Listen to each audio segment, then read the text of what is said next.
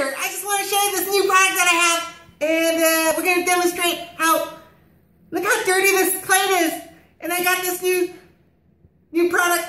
It's called Lemex. And what I do is I, I just swirl around, clean the plate, rinse it with water. And you're going to be amazed at the results because not only is it clean, lemony fresh, so don't forget, Lemex, and join my team.